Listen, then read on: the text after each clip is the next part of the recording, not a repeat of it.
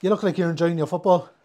Yeah, definitely. Yeah, especially after last week. Obviously, um, great win in the derby. Um, they've beaten us previously twice in the season, so it was good to get the win. And uh, yeah, I was delighted with obviously how we played in that, but more importantly, a big three points. You've been involved in all the games. I think last week was your first start at Oriel since you came back, which which must be nice. Yeah, absolutely. I'd, I'd started, um, I think it was Shels away and Rovers away, but I was looking forward to getting back starting in Oriel since I came back. So uh, yeah, it was obviously a great atmosphere at the game. Brought a, brought a big crowd and that. So yeah, it was it was a nice feeling to be back in Oriel and starting. I'd say it was good cracking the car on the way home. Yourself yeah, as always. Yeah, yeah. Me, Darragh Leahy. Yeah, absolutely. Yeah. Boiler obviously as well. I was probably disappointed he didn't get his clean sheet in the end, but yeah, no, it was good crack. I was delighted for Darragh. Um, the last time I played with Bowes, he scored in a derby, so I think he's only ever scored in derbies really. So yeah, yeah I was delighted for him to be honest you must be disappointed not to get in the score sheet yourself. You obviously had the free kick, but the one in the second half. Yeah, probably... definitely disappointed. Um, just went through and I was seeing the keeper coming out and I thought, like, I'll just slot this in. I don't know what happened at the end. Even watching it back, I don't even know what I was doing. And I think he was giving out. I didn't square it to him as well, but I didn't even know he was there to be honest. So uh, yeah, I was disappointed. But like, look, the one off the bar as well was uh, disappointing. But that following him was nice. Nice, nice reception when he was off. And speaking to Stevie after, he said that hopefully would give you confidence. Pe- people might look at you and think, Wardy doesn't need confidence. He's he's he's got all the confidence in the world. But does that when no, you get a standing yeah, ovation yeah, like that? That's, no, it is. To be fair, coming off, I, I got a great reception. I've always felt coming back here, and I don't know what it is. They've just took to me here mm. at this club. Uh, my first stint, I was happy enough with under Steve, and it was up and down.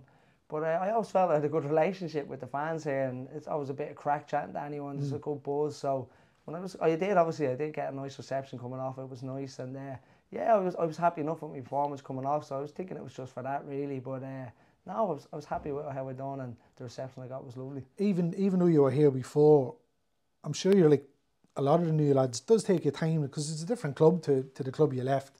What was eight nine years ago? I'm sure it takes a bit of time to settle into your surroundings and obviously new management, new players. You're, you're like everybody else now. Yeah, absolutely. Like obviously I'm a bit more experienced now, so you don't put as much pressure on yourself to uh, to start well, and that you know it can take a bit of time. But to be honest, I, I came back here when Stevie gave me the option to come back. I was delighted, but I still feel I have a lot to prove, mm. and I'm still feel I'm a good player in this league, and I can make things happen, and you know have a big influence on, on games and big games, and I feel like I can get a run of games now and start to show me quality and I think the gaffer backs me in that and the quality around the team. I've a lot to play with. Mm. We're third of the way through the season. You can you can definitely see it's starting to take shape and it's starting to go in the. I think it's the way we all were hoping and we all expected it to go when everybody sort of found their feet.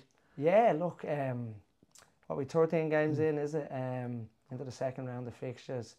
Like I'm looking at the league and that it's very tight. Even there's a kind of a bottom three, and then I think it's us, Pat, Sligo, um, mm. is it? And there's not nothing in that. But I was chatting during the week and a few of the lads. I think even other teams. I think no one's really afraid of anyone this year, and I think anyone feel like they can take points off each other. It's just who can hit a bit of form mm. and be consistent and that, and that's what we're hoping to do. And I think performances have definitely got a little bit better, and we're turning them draws into wins, which is good because.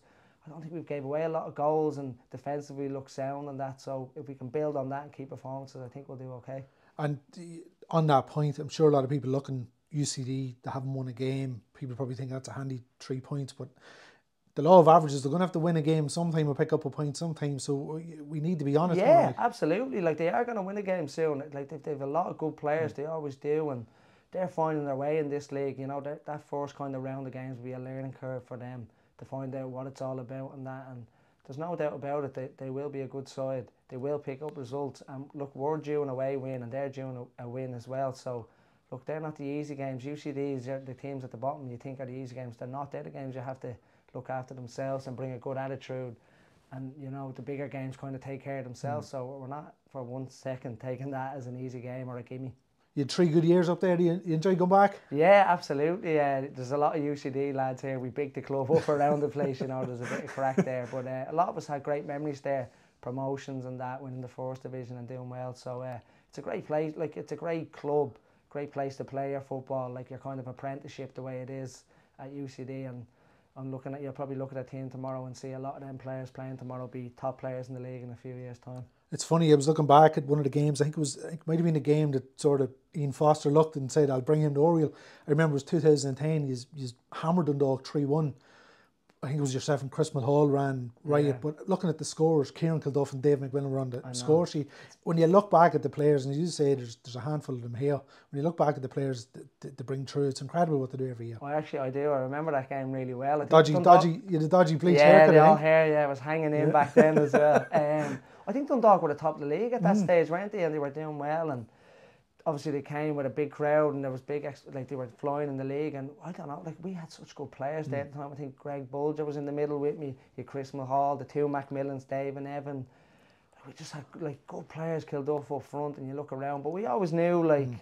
probably didn't know at the time what we were. But when you look back, we had some serious players, and we knew that year if we play well, we were a match for anyone. At that day, it's like we all just turned up and turned it on. It was just one of them games we all done well. You, you mentioned the crowd, Wardy. It's it's an away game, but no disrespect, you see, we will have a big following Yeah. up there, so you can, you can turn that to your advantage in Belfield. Absolutely, and that's the way it is. Uh, uh, when I played there, I always knew like I'd look forward to the Mm. bigger teams coming because they bring a crowd. and You wanted to play in front of a crowd, and no doubt there will be a big crowd. They always do turn up the Dundalk fans, and uh, it's just important to start the game right and get the crowd behind you and try get an early goal maybe and just calm everyone down because. Like the way UCD, a lot of their home games, they've been in the games and they've been winning some games there. That the results haven't been the worst there, so uh, it's important that we start right and take it serious. And as you say, if we can start sort of translating that home form into that sort of form on the road, we, we, go a long way. Yeah, absolutely. Like to be fair to the gaffer, he spoke at the start of the season that over the years Dundalk has been a fortress here in Oriel, and he wanted to get that back. And I think if you can get your home form right, you can the away form kind of takes after itself. So we have to start now looking after that, and hopefully we can start tomorrow.